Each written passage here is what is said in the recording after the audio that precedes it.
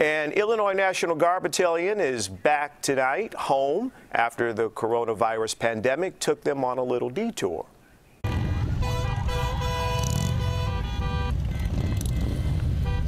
Two hundred and fifty guardsmen arrived back in Illinois today. They were on a combat mission in Afghanistan. They left the Middle East two weeks ago, but before they could come home, they had to quarantine in Texas for 14 days.